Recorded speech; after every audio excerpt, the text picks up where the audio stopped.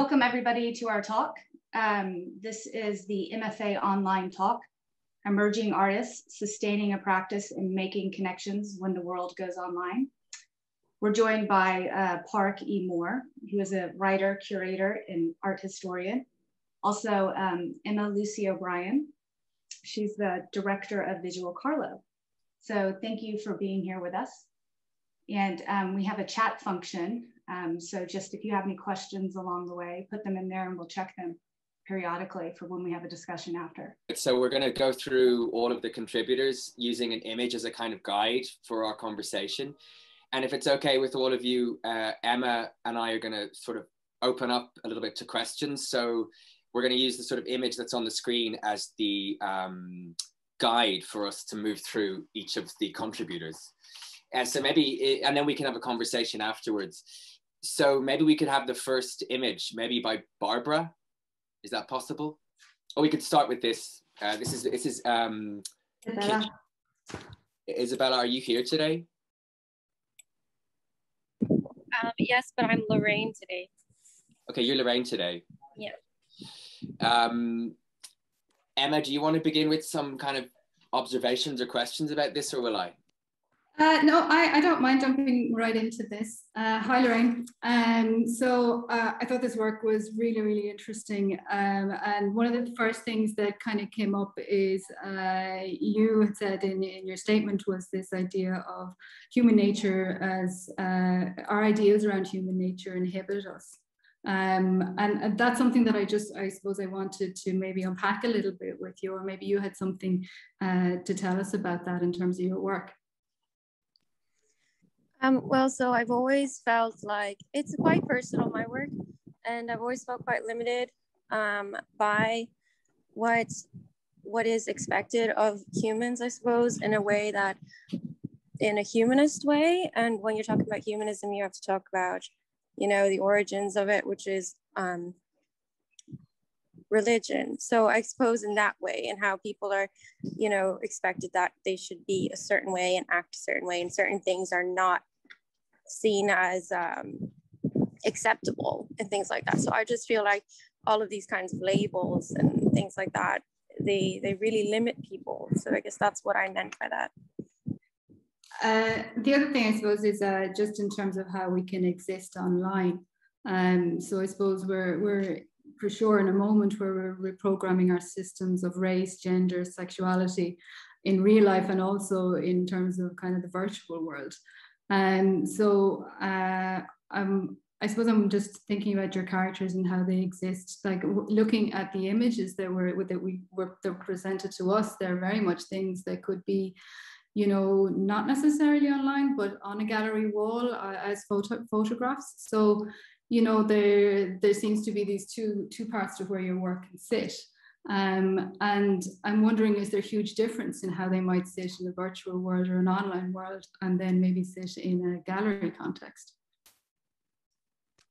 Yeah, there's definitely a big difference. Um, I made my work this year um, for to be presented online, really, um, and I I've also printed them for a, an exhibition up in Belfast and really like it is completely different. I think in when it's printed, it has a much more of a presence to see the work as a tangible like thing that you can see an object definitely makes it more real, but it's almost like I'm bringing something that is digital into the real world. And that's kind of like what the work now is about. It's about the digital self and a digital experience um, and bringing it into reality. Mm. Um, it also just like it looks like you're having lots of fun with this as well. Like there's good, there's great humor in this. So I'm wondering about your your practice and how you how you approach things. So there's the kind of the making of the images, there's making of costumes, there's the creation of characters. Um, so almost which which part comes first is uh, is it the character that kind of leads to to the rest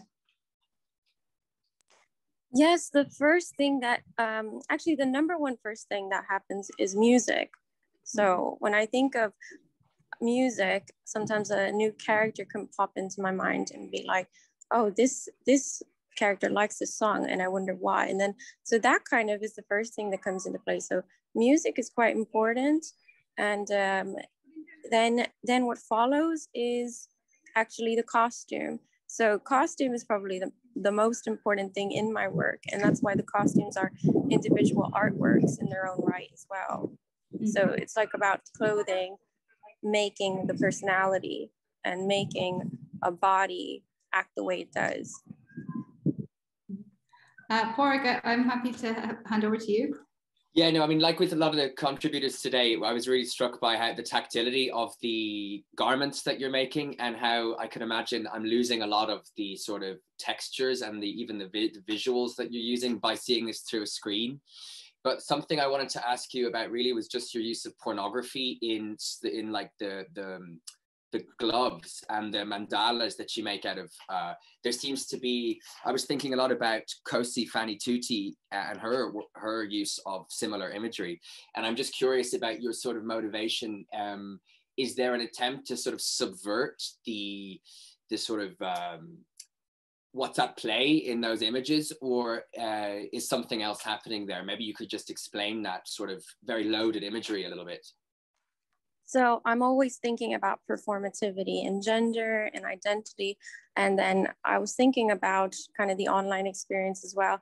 And we're so used to pornography now, it is very much like something that's part of our everyday lives. Everybody's got somebody watches it or they watch it.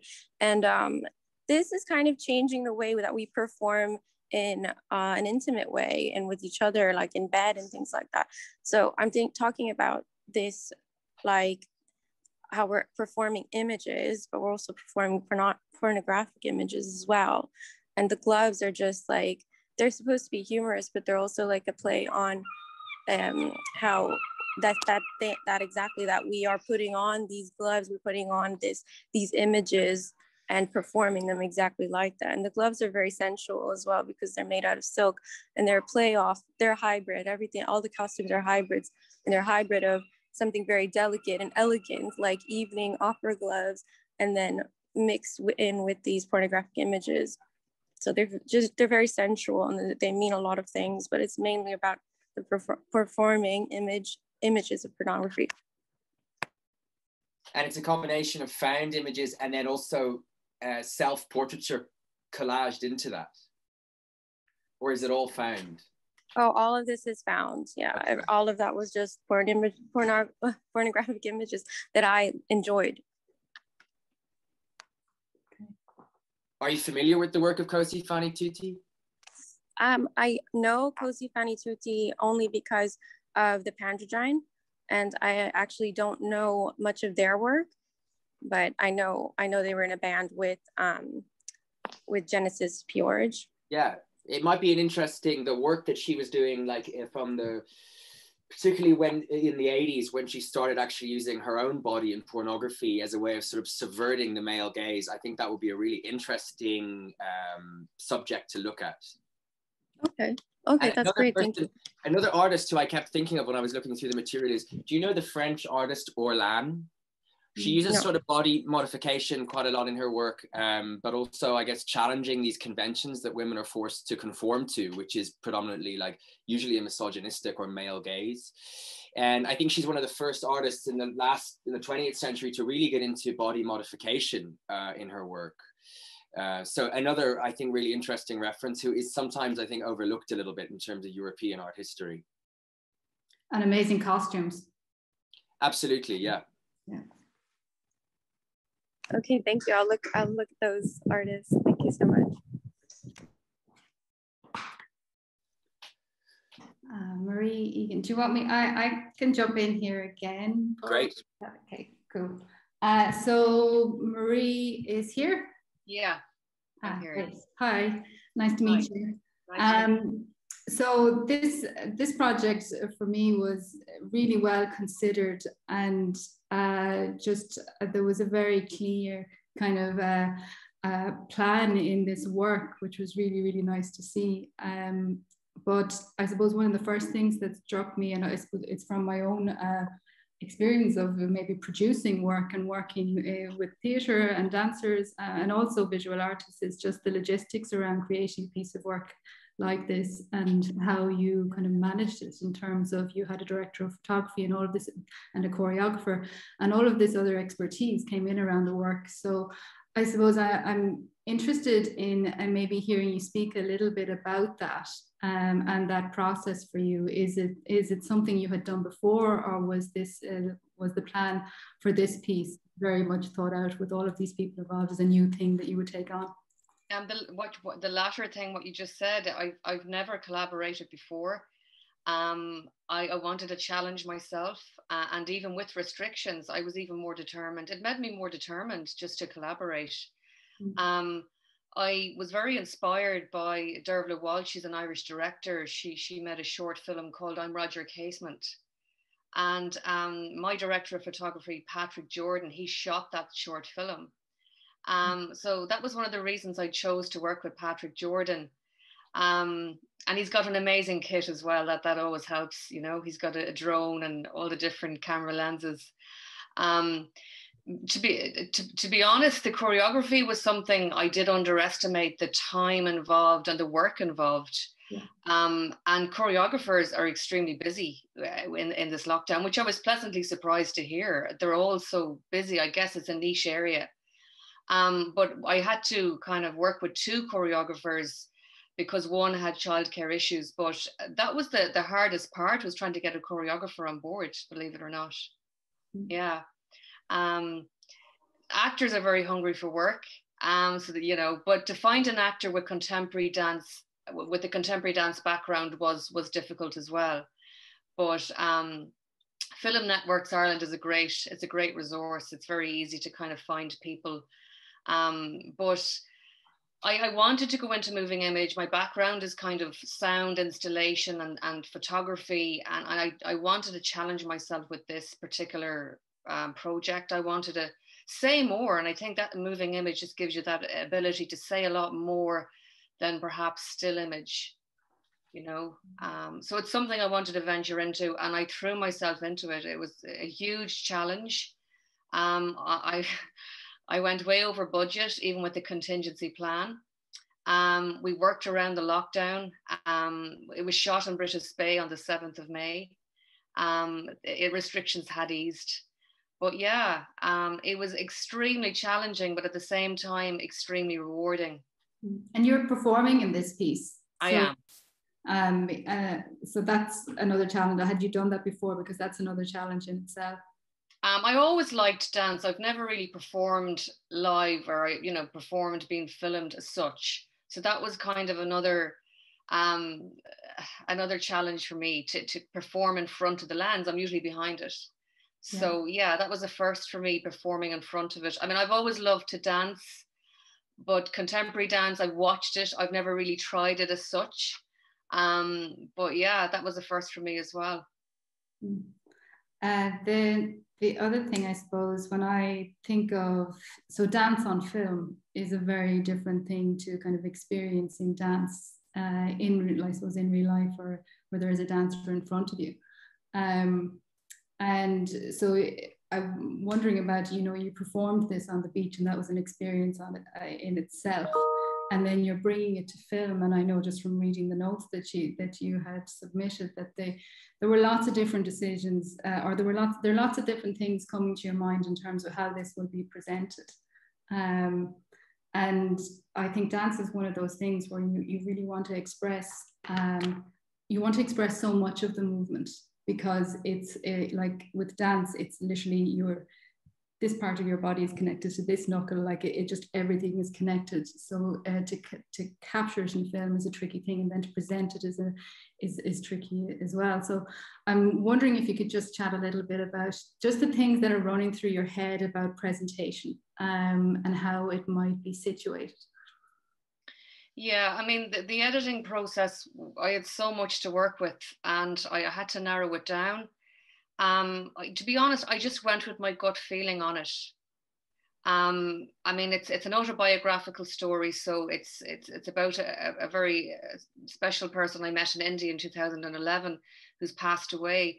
so I just had to stay true to the story as best as I could. And there was certain, there was a lot of repetitive uh, movement in the dance. So I, I, I, kind of eliminated, you know, some movement that was, you know, repeating itself. Um, and yeah, I just tried to, to, to stay true to the story as best as I could. Um, but it was difficult to answer your question. It was difficult to try and um, decide which should, you know, which movement should be included, which shouldn't. Um, I, I, in the end, uh, after I submitted this for assessment, I did contact a professional editor. I just wanted an objective eye over what I had edited. And actually, he, he said to me, Your edit wasn't bad at all, but mm. he shortened it down. Some of the dance moves, they were shot in kind of um, you know 50 frames per second it's kind of slow motion so he implemented some speed ramping into the imagery so it's speeding it up and then slowing it down and it just shortens the footage because you I kind of had to think of the audience as well. I didn't want a film essay. I didn't want a long film. I, mm. I wanted something kind of under 20 minutes and the final edit we got it down to just over 11 minutes. So, Sorry, just have a quick before we move on to the next um, contributor. I was just struck by in your work and also just uh, throughout, uh, whether it be the representation of the body or in this instance the actual use of the body, there is a very sort of predominant strand throughout all uh, most of the participants of just the kind of foregrounding of the human body in certain ways. And I was really struck looking at this. I was thinking a lot uh, about uh, an artist who uses dance primarily, who died a couple of weeks ago, who I encourage you all to look at, Anna Halprin. I don't know if you're familiar with her work. She's sort of a pioneer, I guess, of modern dance. Um, but particularly looking at how the notation that's used around dance can be sort of trans translated into other aspects of life. I think she was 100 when she died uh, wow. two weeks ago. Um, but it would be a really interesting sort of touchstone because a lot of the, I'd be very curious to talk to the choreographer who devised a lot of this because it looks like they're using some form of notation. I'm really curious to know how could this be repeated? And if so, what was the index or notation used to sketch out the sequence of movements? Maybe it was, I, I i showed her excerpts of my thesis um, because my thesis is based around memory place um, and it's a tribute work so she actually got us to improvise all of the movement right so I, I went through the, the, the, story with her particular day. She said, "Is was there any particular time you had in India that was very traumatic?" And I, I just talked talked her through different experiences while I was there. And then she got me and um, my actor to improvise um, our own movement. So we, we had to come up with the moves ourselves. And she pushed us. She was like, you know, she was, it was quite grueling. But I mean, and, and she asked us to do movement that became natural. I mean, obviously, uh, you know, my actor is very agile. He's, he's, he's very fit. Some of his movement, and it's, he's very masculine. He brings, he brings a masculinity to, to this contemporary dance, which I really like. Uh, and my movement is very feminine, and we're not really dancing in sync. We're just bringing our own style to the dance, but it's improvised movement. Okay. So it couldn't necessarily be repeated as it is. It would have to be a sort of organic version of this. Well, no, we can repeat it as it's shown on the film, but the initial move, we, we come up with that move ourselves. Okay. You know, so it's um I hope that answers your question. So it initially, yeah, no, was, we can repeat it as it's shown on the film from memory. Yeah, that's clear. Okay. Thank you. All right. Thanks, Marie. Thanks. Um, you go first this time. Uh, Louis, um, I was really curious uh, uh, to ask you just a few questions about this. Um, there's sort of this tendency in the in the like it's great to see this work installed because I can get a much greater sense of it than looking at still images. Um, but there seems to be this tendency to sort of interrupt the, the photographic process. So they're like a kind of reflexive, um, almost Brechtian uh, process here where you're constantly interrupting your own photographic process. Can you talk a little bit more about that?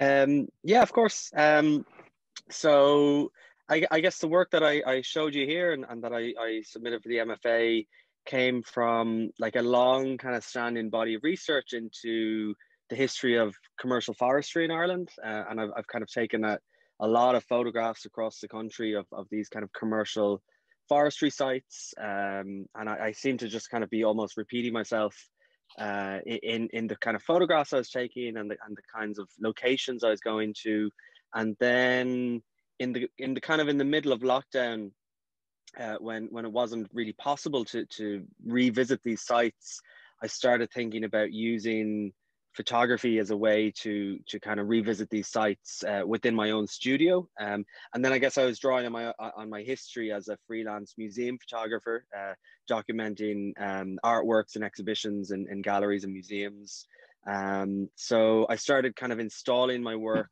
um, and kind of recreating they, they weren't quite life they weren't quite life size but they were an approximation of life size kind of depending on on scale and, and distance. So i was recreating these scenes using um, color photocopier and, and wallpaper paste.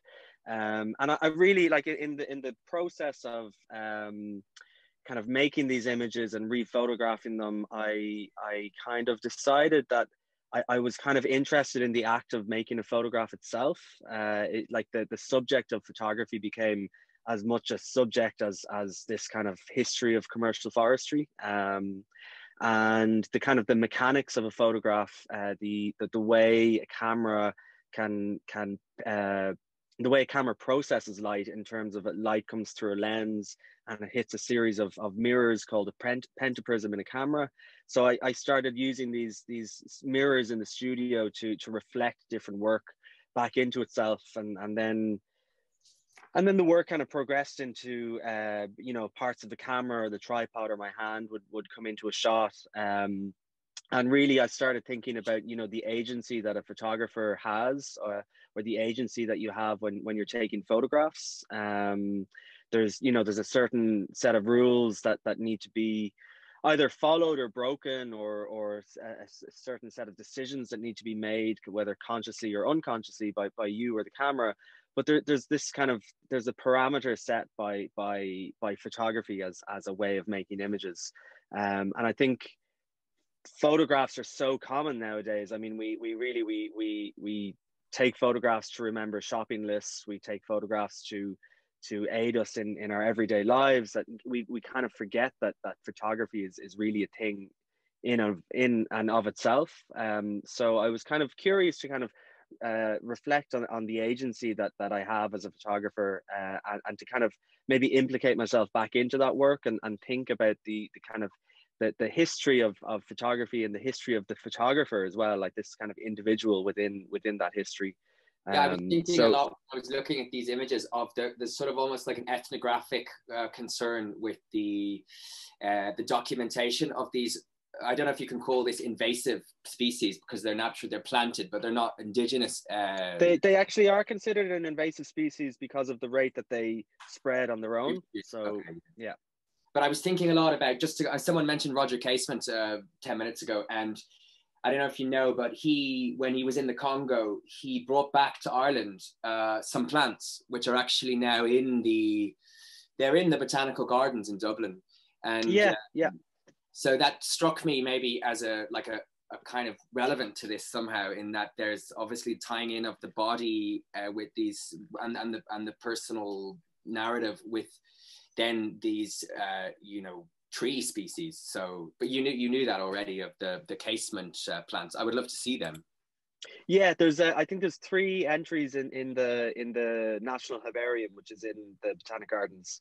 Uh, I think actually there's there's a collection of coffee beans as well that that casement either collected or was given at some stage uh, that are that are housed there.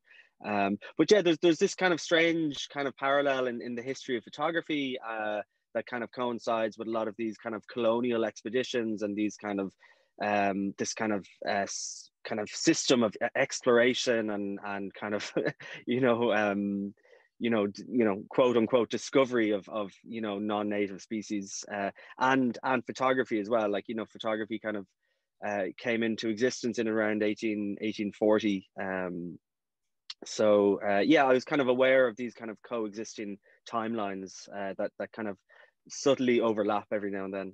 Yeah, and also methodologies in terms of not just colonialism, but also eugenics. I think if you look at a lot of early 20th century photographer photography, it's used also in these kind of very questionable ethically ideas of measuring species or, or different oh yeah strains. Uh, I guess August Sander is that his name, the the photographer. Yeah. yeah. So so there seems to be also a kind of thread of this in your in your photos. Yeah, I mean it's it's it's um uh, like I, I studied photography uh, many years ago, and I, I work as a photographer, uh, freelance. I, I make photographs uh, as an artist, so like I, I feel like kind of deeply embedded within within photography. Um, and I think kind of many different aspects of of that history and, and, and of the practice of photography. I think at this stage is now now kind of making its way in, into the work that I'm making.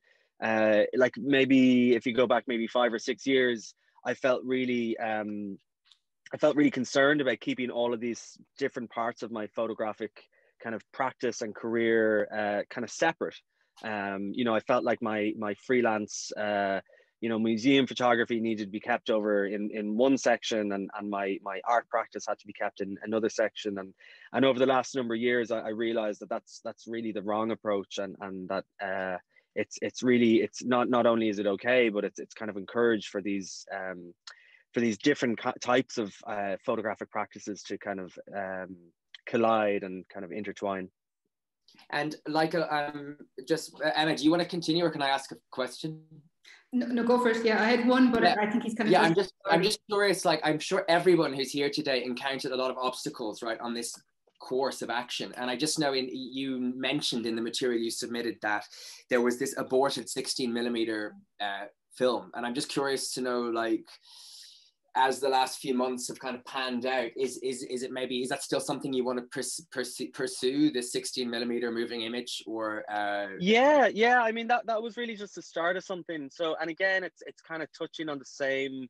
type of approach uh, in that it was this kind of 16 millimeter motion film uh, of of actually eve who's who's uh, uh in in the class um, uh, kind of embodying this kind of archivist uh, persona. I actually kind of saw her as this the, the kind of almost like the the figure of Augustine Henry's wife. So Augustine Henry is this very esteemed, famous botanist, Irish botanist, who revolutionized contemporary forestry. Um, but the Augustine Henry collection, which is in the National Herbarium, was collated posthumously by his wife.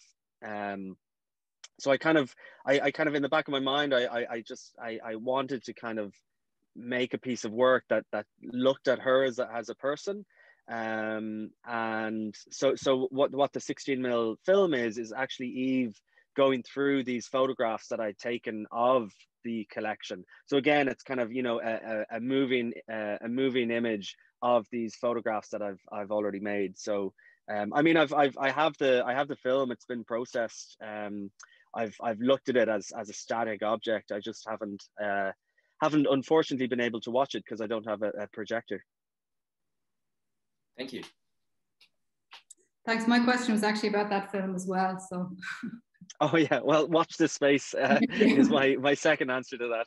Um, so yeah, I, once I once I get to view the um, view the footage, uh, I I think I'll I'll continue making more uh, 16 mil.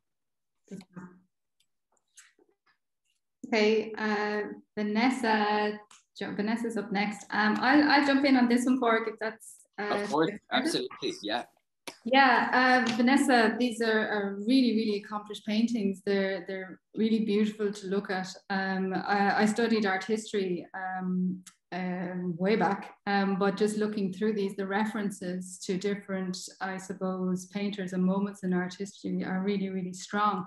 Uh, so I was wondering about uh, uh, your process and uh, where you were drawing the ideas from, and um, how art history really how, how the important part that art history plays in your in your practice. If you could talk a little bit more about that. Okay yeah no it definitely does. That makes me happy that that is noticeable. Um, i think I, I, was doing a lot of um, painting where i wasn't really drawing on that outside of technique. Like i was using art historical techniques um, but I wasn't really using the imagery that I loved from art history. Um, and then over the summer, there kind of came a moment where um, I just decided to kind of insert myself into these things that I loved and appreciated. Um, and for example, in, in, this image, um, The Harvesters um, by Bruegel. Um, I would, I have a tendency to copy paintings anyways and drawings. So just kind of using that idea of copying something. So I, I copied his wheat in the background, the harvesting. And I, I kind of just bring in images in that way as I'm doing something. I, I'll think of um, an art historical uh, picture that I would I would like to use, um, like the hat and that comes from Brigitte Bardot, but it also comes from um, the um, uh, oh I can't even think what they're called. Um, they're manuscripts, you know, illuminated manuscripts. You know, you would see peasants working in the fields, and they, they would be wearing the white peasant blouses and um, the the straw hats but also there was that image of Brigitte Bardot in kind of a film still in a, a so film also brings in as well to, into my work. Um, I like the um, I like the intensity sort of film brings a sort of implied narrative going on that you don't a suspense that you know what is going on. Um, there's a there's a kind of a reading of these images. So uh, uh, there was a book that I, I, I really loved when I was in college. It's uh, Hall's uh, Dictionary of uh, Subjects and Symbols in Art. Mm-hmm. Um, so it was really reading into, you know, uh, kind of medieval and Renaissance paintings and what the things, you know, that the small objects in a in an image might mean or be alluding to. Um, and it just a fascinating dictionary of things that once you had this knowledge, you were kind of going back to images and you were reading them in a very different way. And that's something in your images, the more I was looking at them, the more I was kind of going back to maybe the one before and finding different references within the image. So uh, I think that's something when you're seeing a number of them, uh, together is really, really interesting because you are finding the film references. You, well, I suppose if you have the knowledge, you are finding the film references, you're finding uh, the art history references and maybe popular culture and different things kind of uh, within an image that is painted in a very particular way. So uh, I find them really, really engaging in that sense. Um, so yeah, well done. Um, oh, well, thank you. Yeah. So that wasn't a question, that was just me. Thanks. Or do you want to take over? Yeah, I was um I was reminded of this painter pa- Paula Modersohn Becker, who uh, mm-hmm. some of the some of the self portraits really reminded me of hers. But I also it occurred to me when I was looking at these that um it, there's a sort of almost narcissism narcissism built into this because you're painting yourself almost obsessively, and then mm-hmm. that suggests there's actually a splitting of the self into multiple selves. So there's obviously sort of a Jungian investigation or self analysis going on um, and I'm curious to know where that's leading you in terms of both uh, in the studio when you're rendering yourself on the canvas every day. Does that lead you into sort of a, is it a form of self analysis? yes, unintentionally. Um, but yeah, I definitely, um, I'm constantly going down the Jungian path, um, which is very Jungian. You know, so like while, while I'm doing it, um, things come up and I realize I've been repeating certain images, including myself, over and over again, um, like as in a in a very you know narcissistic, and I don't mean that in a negative way. I mean it literally as in a desire to look at myself over and over again. Um, and it does become an analysis, and that um, Emma Lucy had mentioned the symbols, and I think the repetition yeah. symbols as well, um, using primordial imagery and medieval imagery that kind of reveals more about myself than the image of myself you know um, why i'm sort of looking at those certain things and repeating those images. And thinking about that self-analysis has kind of even led me down to a less artistic path and more of a neuroscience path. It's made me think about how we, we kind of operate as humans in this, this self-replication why we're doing this over and over again um, that's something obviously I don't have the answer to, but I find that connection of, of symbols and myth and science more connected than you would think, you know? I think it's all connected. I mean, it's all yeah. part of the microcosm versus macrocosm are the yeah. same. So yeah. I also really enjoyed looking at your paintings. Thank you. Thank you. I hope to see them in the flesh someday. Thanks. So Anne Marie Kerwin is next. Is Anne Marie here? I am. Hi, Hi. Marie. Nice to meet you. Nice to meet you too. Hi. So Uh, I'll jump in. I don't, or sorry, Corey, do you want to go first? If you go first. Okay. So uh, this was, I suppose this was interesting to me as thinking about just the, the moment uh, where we've been in the terms of lockdown and being kind of uh, encased in something or uh, trapped or isolated. And your project really spoke to all of those ideas. Um, and then the other things that were coming through my mind when I was reading the, the information about your work was just, you know, the, who was featuring it. It was you, your husband, and the and the dog, the things that were proximate to you during this time as well. Um, so I, I suppose I'd love to hear a little bit more about the process and how it unfolded in a time when we were very much, I suppose, within not necessarily a queue, but within a very restricted uh, in, environment, um, and how that might have fed into the work. Um, I suppose I'm kind of like multimedia, but my main my main interest would be around sculpture. So the the studios practice and the sculpture would be um, to work in the workshops would be very important. But because of COVID, obviously everything changed rapidly, and um, I was trying to visualize a way that I I could follow through on my main idea, but I knew it was going to change. So um, I live in Kilkenny, so my back garden became my studio, the bedroom, um, the bathroom. So it was trying to figure out a way of the containment, but like we were all contained.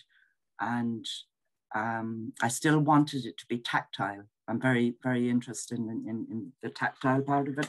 So like a lot of it would be research based, but I was going down rabbit holes and I decided that I really liked the rabbit hole, so I was going deeper down. But um, it's um, it became site site responsive work, and um, obviously the, the reason my husband came into it, the whole idea of it is um, uh, my husband has sleep apnea, and what it's like to live with someone that um, has sleep apnea without the device and the sound of the breathing and the consequences of that um, if you don't wear the machine and then the process of of getting the machine and um, almost like sleeping with the Darth Vader, but then getting used to it. So breeding would have always been um, part of, my dad was a coal miner. He went down mines when he was 14 and I come from Castlecomer, which is, was a coal mine town. So there's history behind that, the Wandesfordes and the, the coal mine. And, um, and I um,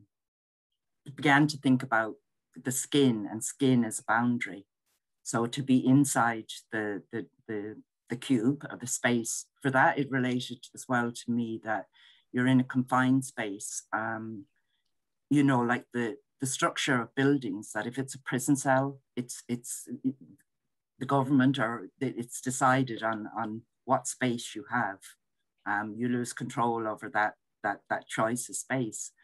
And um, the fact that the image true, when you take a photograph, the image true, the, the actual material. And then I used um, a Touch Me device, which I ordered from the UK, which is like, um, it, it, transmits the um, skin to skin. Um, it didn't work that well. It'll, it'll go through vegetables and all other sorts of materials, not, not great through the actual cloth. So I had to find out a way. So it's just basically it had to transition into video work. And um, I'm so used to working with something that's really messy and tactile.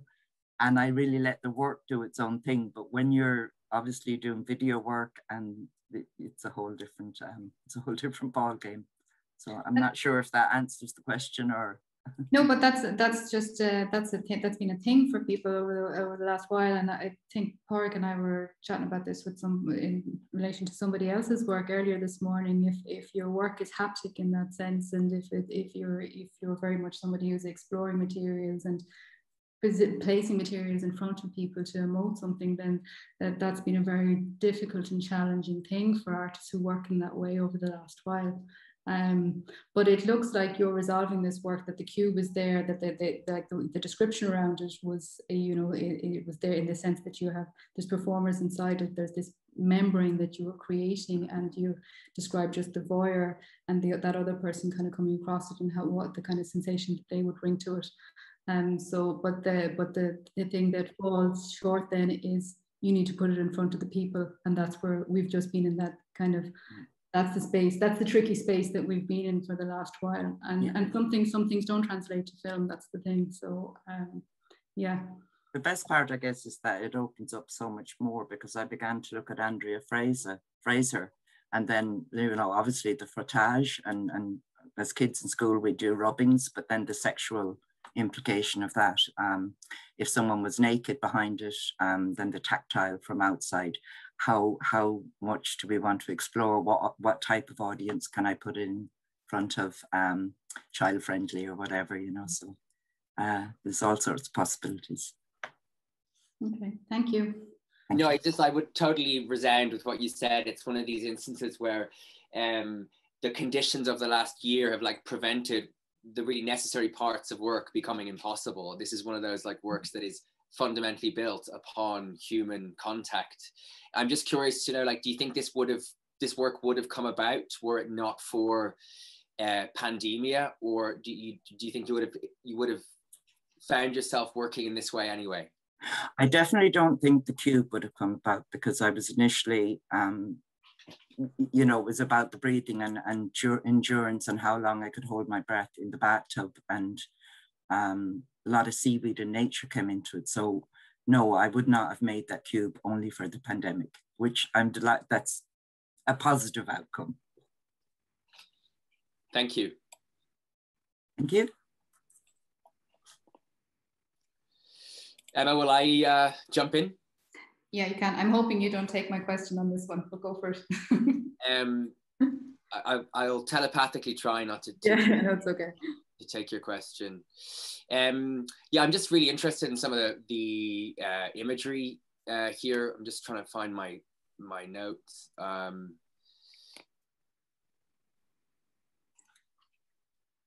yeah, so um,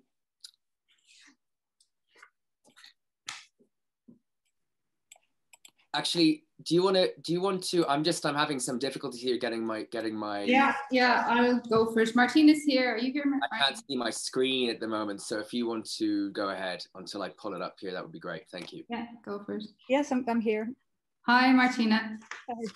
Uh, nice to nice to meet you.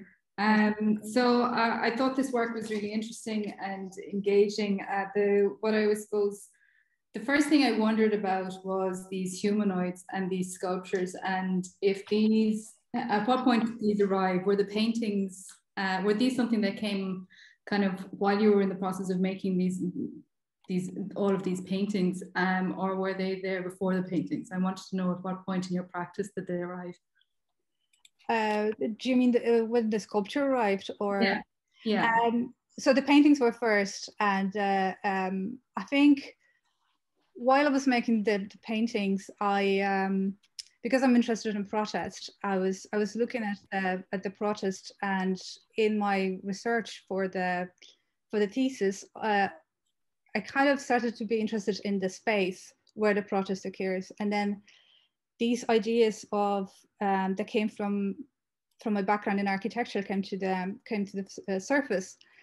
So I started thinking about walls and uh, the significance of, of uh, symbolic and the physical significance of walls. And then, so the sculpture kind of relates to the walls. Um, so it's it's made from from the common building materials, um, and it's it's like a wall or like a barricade. Uh, and even though it's porous, it's it still blocks the blocks the movement. Uh, but yeah, the paintings were first, and it was it was kind of gradually I started making these um, these cube um, shapes on, or or, or uh, just painting um, lines that would represent something that is blocking the um, the humanoid uh, the humanoid uh, shapes.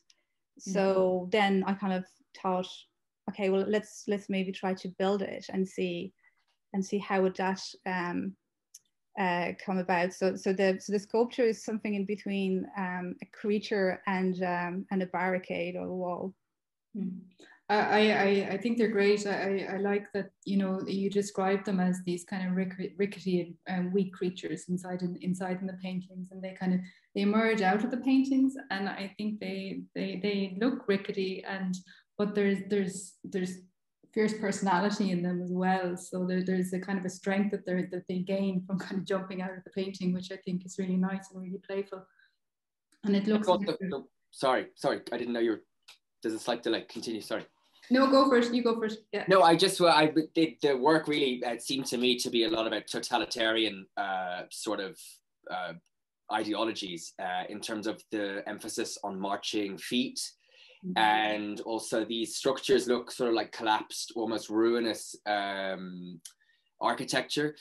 Uh, so I'm curious just to, to, to, know, there's obviously like Philip Guston references there, but also maybe Hans Bellmer, Robert Gober. Um, but maybe you could just talk a little bit about the use of the legs, because I'm curious about, again, the body keeps coming back today in various ways. Maybe you could just talk a little bit about your choice of that particular limb as uh, as an awkward thing?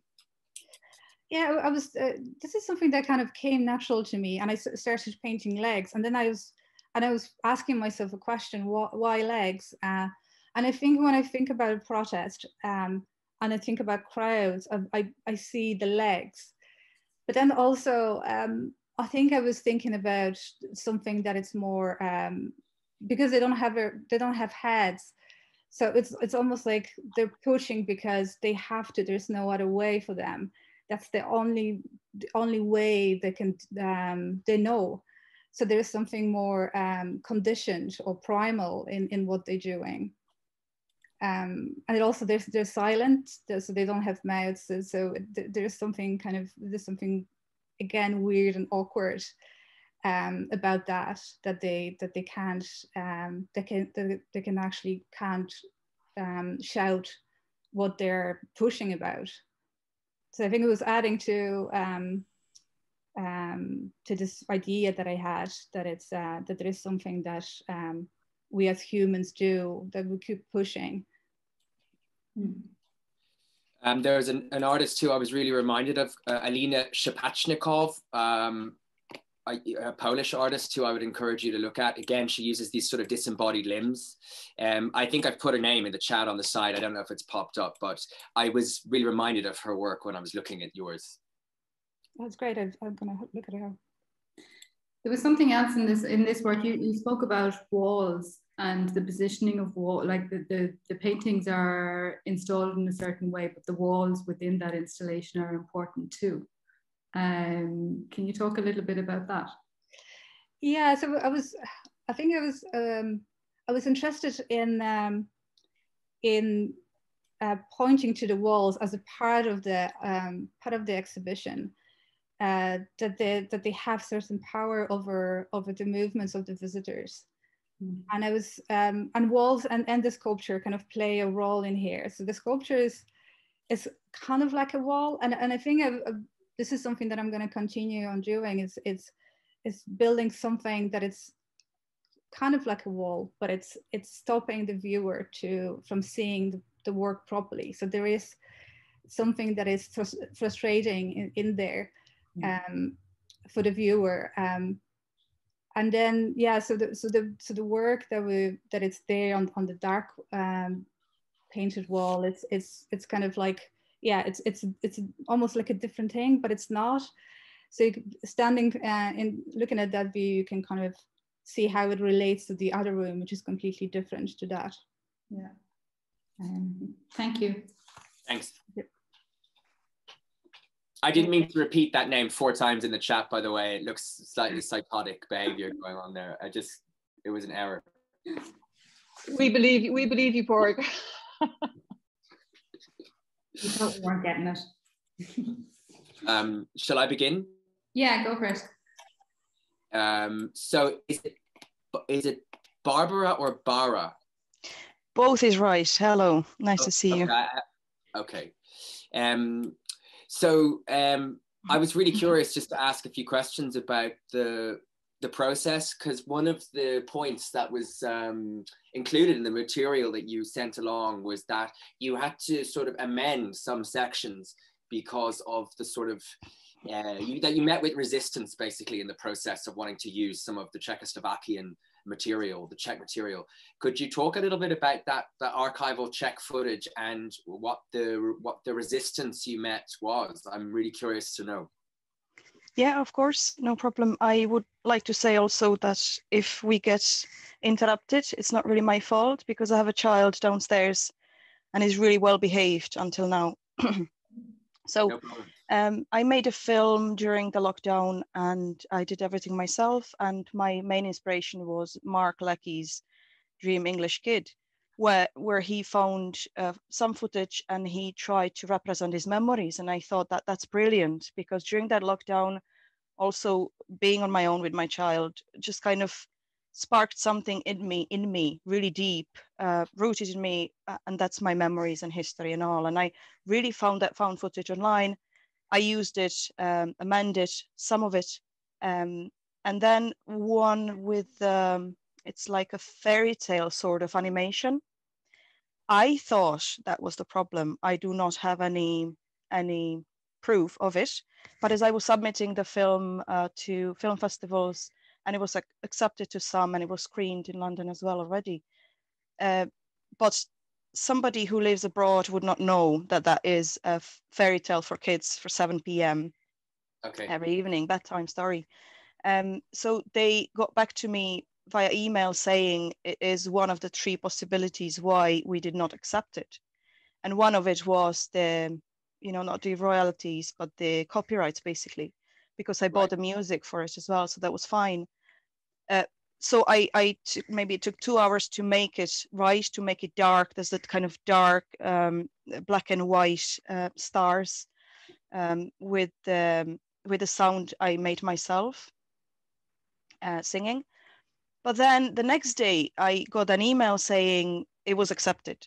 So maybe I only, it was only in my mind that was the problem, but I really had to face everything what could come possibly.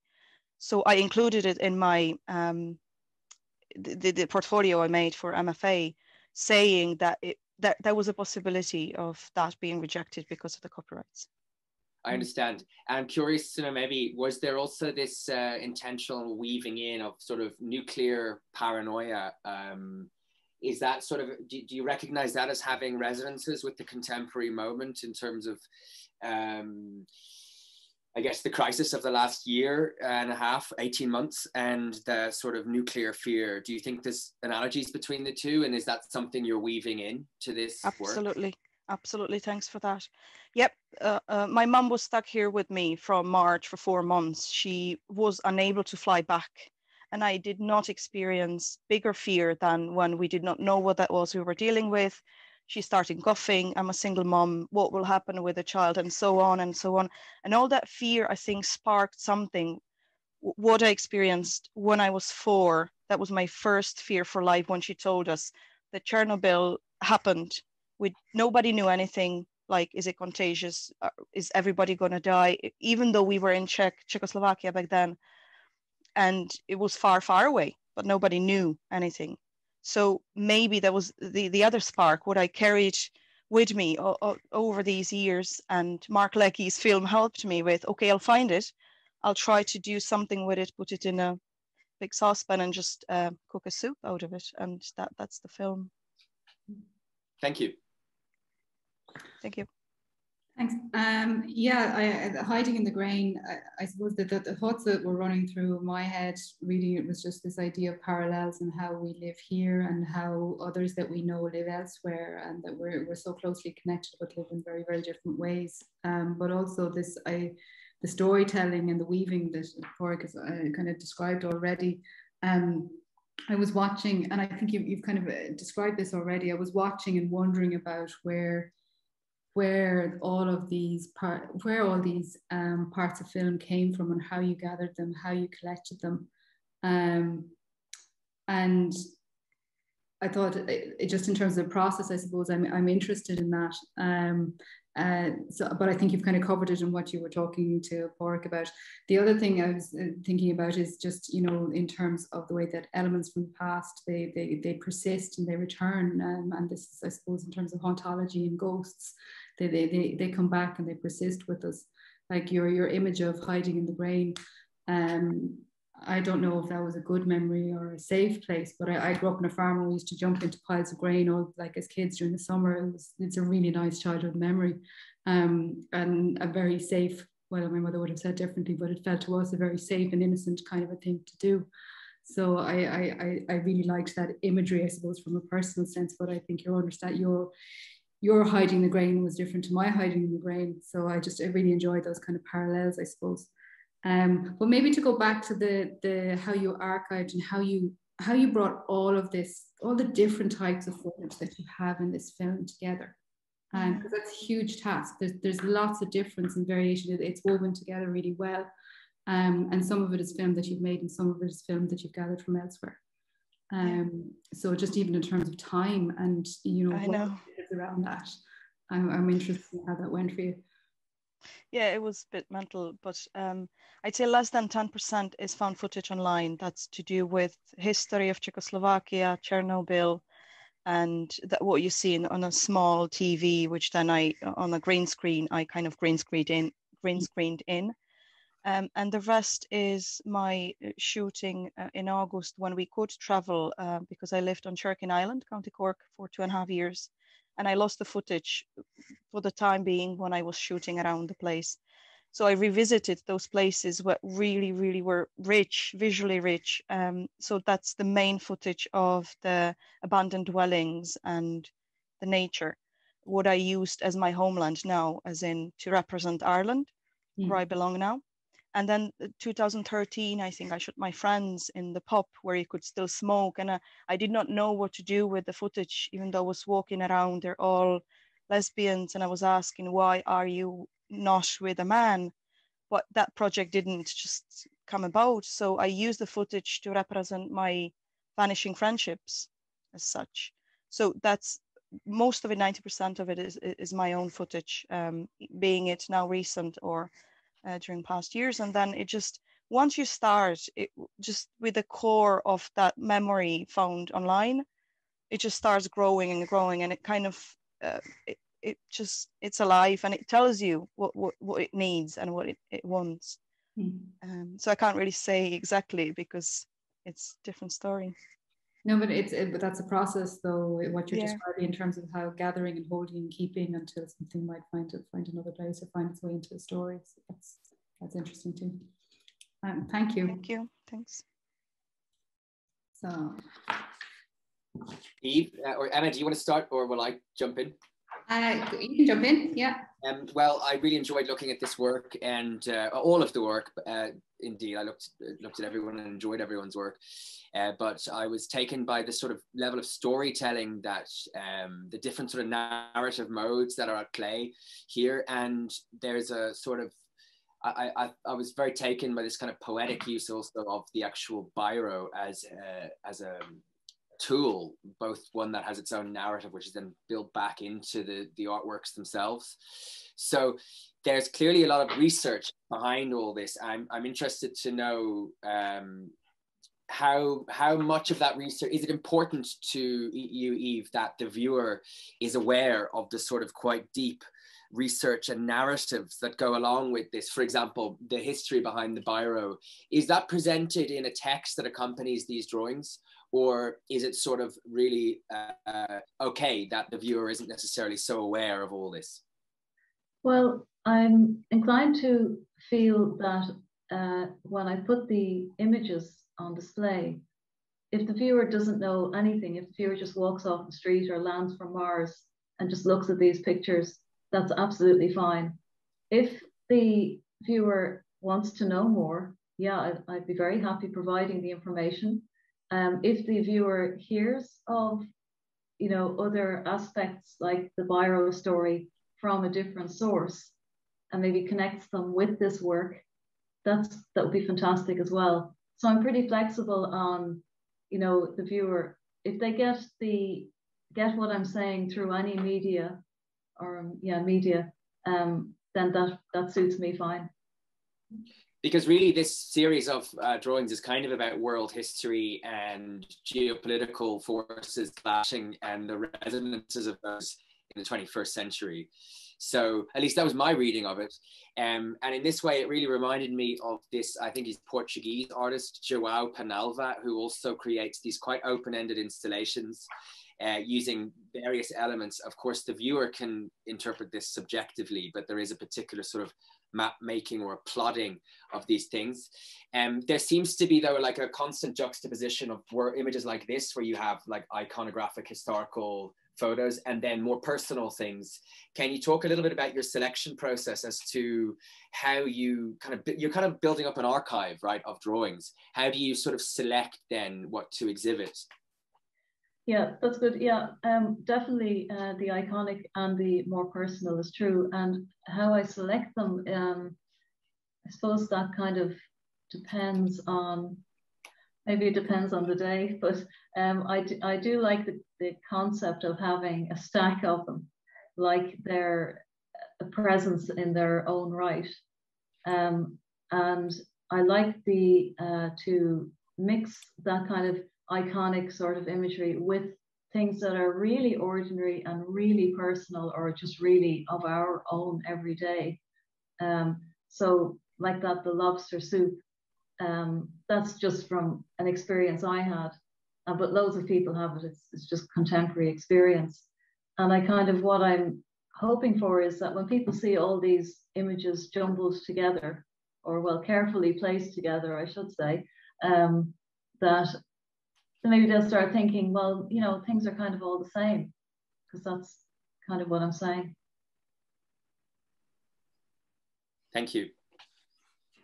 Um, I, I suppose my uh, reading through the the text that um, and just uh, looking at the images and reading the text, first thing that struck me was just your sheer tenacity in terms of uh, positioning the work and your your this the really lovely story that was there about looking at all these different places that you might like to to to hang this work or to show it to people and the email conversations that you had. Uh, as somebody who has worked kind of site specifically and been wheeling and dealing and being in contact with people trying to get spaces opened up. I really appreciated all that information. And I'd just love to know a little bit more from you about that story, that part of this, and how you wanted people to, to see this work or how you wanted to position it. Yeah, I definitely wanted people to see the work in uh, in a real situation because they they don't uh, they don't photograph that well. Yeah, you have an image there and it tells you what it is, but in real life, I think anyway, the drawing, it's the size, it's about A3 in size. So they're very accessible in terms of placing them in the home. They're also tactile in that the paper has texture. The pen, even though it's black ink, there's all different shades in the black ink. So it's it's interesting in that way. And also, I think people have to, I think it's better to have a kind of a personal one-to-one experience with an artwork and not to have well to try and not to have too many lenses or barriers or glass sheets of glass between you. Um, so it's that's important to me. So when i kind of heard that there wasn't going to be a show in the in the form that i was expecting i just kind of went mad and, and sort of thought where oh god i have to put it somewhere that people can go see it in some form. Um, so i the I did approach several places, um, Liberty Hall, uh, Dublin Castle, Chester Beatty Library. Uh, NCAD also would, were going to let me borrow the lift, which was I've plans for that. Um, and Dublin Castle were so helpful. I mean, they really bent over backwards to help me. That um, I've I'm going to I've kind of they've kind of uh, well apart not I won't say their insistence, but their enthusiasm means now that on the 15th of July, I'm going to have a private exhibition um, of invited people. I I haven't done this yet. It's happening on the 15th though, um, in a certain room in Dublin Castle, which is not open to the public at the moment. Which uh, I'm going to use that opportunity to display the work. And I quite ironically now, the idea of having a private exhibition uh, for a limited number of people really kind of intrigues me and attracts me. Um, and it kind of suits this work because it was created in that situation where I was on my own, uh, I was isolating from everybody else, and it was all a bit dark and gloomy um, and ordinary. So, you know, it's it's kind of a it's it's kind of been in hindsight, it's sort of an adventure, but when I was doing it, it wasn't but now it, I can look back and, and sort of smile about it. Well, I think that's uh, that's for sure a very serious result out of all that work that you did. So well done on that and getting that show. It's really, really great. Thank you. Thank you. Uh, Bettina is the next person. Yeah, hi. Uh, or do you want to jump in here or well I, I can start yeah bonjour Bettina bonjour um, I really enjoyed looking at your work. I can I can see again it's one of these instances in which I really wish I could be I could actually experience its tactility because there's so almost like an insistence in your work on the materiality. And I note that you have a background in textiles, which you have sort of mutated into these installations. And this is one of the examples when I was looking through all the material today where I just really admire your pragmatism of using the shower as your, it's a little bit like Eve was saying before about how sometimes the limitations create these possibilities. And I yeah. really enjoyed this use of the shower as your uh, kind of your um, mo- the sort of sculptural format became the shower. And then there was the uh, kind of moving things online. And there was also, I found a certain kind of poignance into the reality, which you addressed very specifically in the material, how you actually said, you know, you'd gone back to your childhood bedroom. And I'm assuming that all those Madonna CDs were yours, like in the past. So you're sort of like unpacking actually your own childhood and then integrating it into your work. Um, has that been a challenging process? Oh yeah, yeah, exactly. Um, yeah, because uh, when I came back uh, to France, uh, I, I, found myself in a in the middle of a, a family uh, like wrecking. Uh, uh, so and I discovered a lot of family secrets, really dark family secrets. So the the atmosphere was kind of heavy and the fact that I uh, came back to my childhood home uh, in the midst um, of this tempest, uh, in the middle of a pandemic, it was just like too much for me. So I just like started to read um, my old book, like Harry Potter or um, Totally Spies. I found back my old Madonna CDs. And then uh, it was a real introspection and the more i was knowing myself the more i was able to to build a, a new character out of it. Um, like the souvenirs were uh, like my material to to build a new a new self kind of. Uh,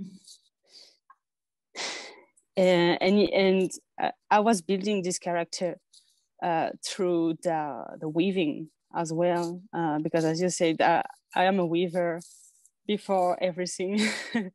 And uh, I, I really couldn't show uh, or uh, yeah exhibit the the sculpture which are very organic and, and tactile.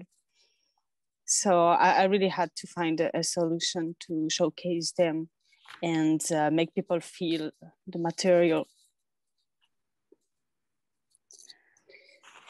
Can I can I jump in there and just say that uh, I, I found this work really really interesting. Uh, you could see just again uh, like Bork was saying when we were talking to other artists, just in terms of that, you know, somebody with a real haptic sense that they, they are using materials and this is how they work. But then uh, in in the in what was presented to us and the information that we had about your practice it was like there was there, there was these little routes of escape that you were that you found. So you know you're you're, you're referencing the tardis and you know the tardis could take you anywhere but you know it, it, it's kind of joke it's an imaginary thing. And then you know there's this idea of the fourth dimension of the internet. Well you could possibly go there and maybe the things could live there and that might be the, the place for for the work. And then there was another kind of an exploration into into film, and you kind of you you kind of retract that again, said maybe that's not not the place. So I just I, I found I I there's there was a real um, commitment to explore uh, in in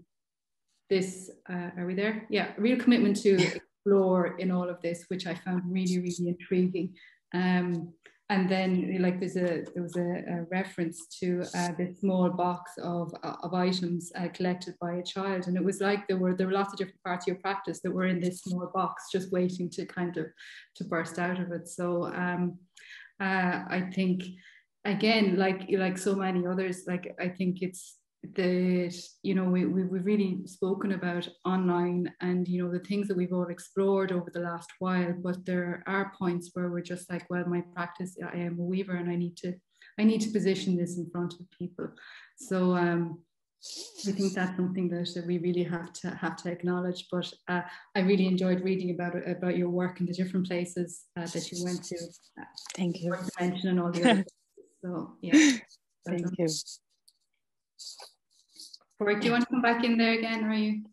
No, I mean, I guess we're kind of in the wrapping up stage. I really enjoyed also, Bettina, your work, and it reminded me a lot of that great Nicolas Roeg film, The Man Who Fell to Earth, which I'm sure yeah. you've probably seen. Uh, it's, of, this idea of alienating ourselves from the familiar, which is something that's happened to really all of us over the last 18 months. And there's a whole, I think, there's a lot of possibilities really. Uh, in in that at the same time it's been quite traumatic for everybody. But uh, in terms of sort of the way this meeting that we've had today was sort of pitched in terms of like post uh, ma uh, i mean if i was to give any advice and i'm not really in the position to because i'm gonna i'm trying to any advice i'm giving you it's life advice i'm trying to follow myself.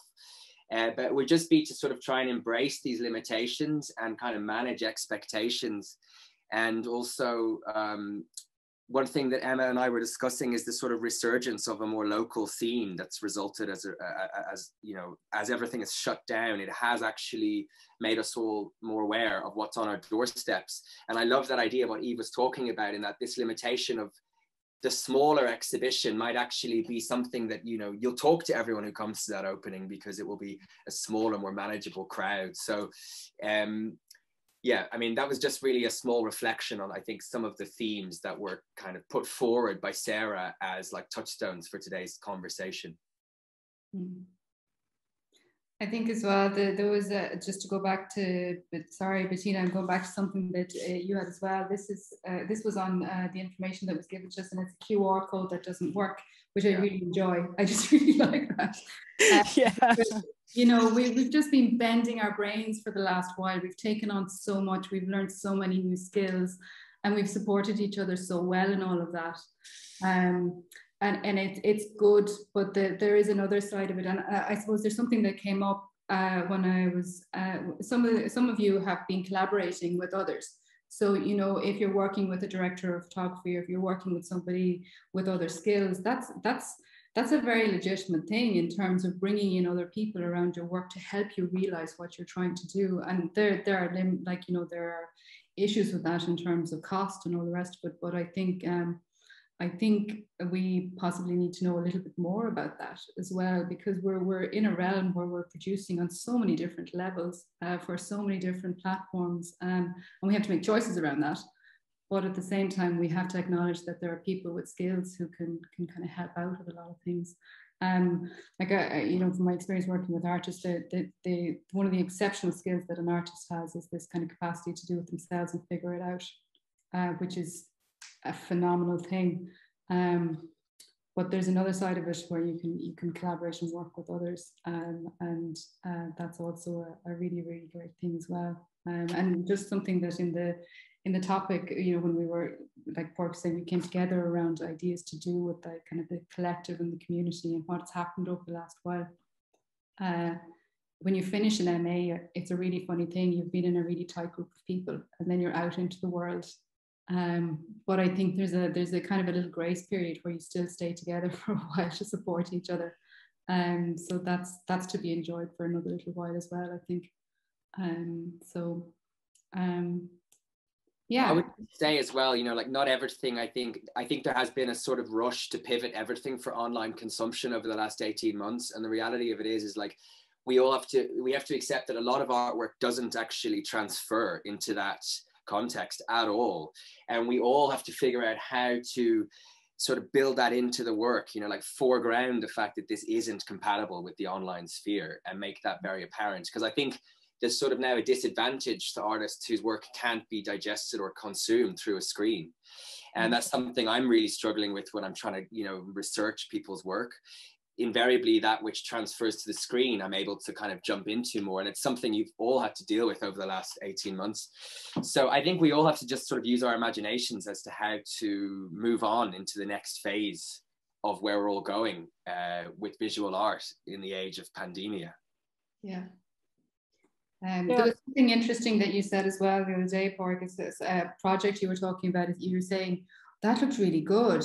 I wasn't actually there, but that looked really good. And there's this thing with the art world at the moment where we're, we're, we're on social media, watching things and they're happening and we're so impressed by it all. But, you know, there's, there's a kind of a laziness that goes with that in terms of the actual experience. And I think that's something we need to be really kind of just uh, attentive to. Just it's, it's really important to be away from desk in real life, all of that stuff. That's what we need to um, start focusing on now, thankfully, for the next little while. So. Yeah. Thank you. Thank you very much, uh, Pádraic and Emma. Thank you very much. It's great to hear your your questions and your comments and congratulations again to this group of graduates who are now finished their MFA officially. And just a reminder that there's more performances and talks continuing at IMMA uh, tomorrow and Saturday um, and you can see more info on that on the NCAD website. But thank you very much, Emma and Pádraic, and thank congratulations, well everybody. everybody. Yeah, congratulations. Yeah,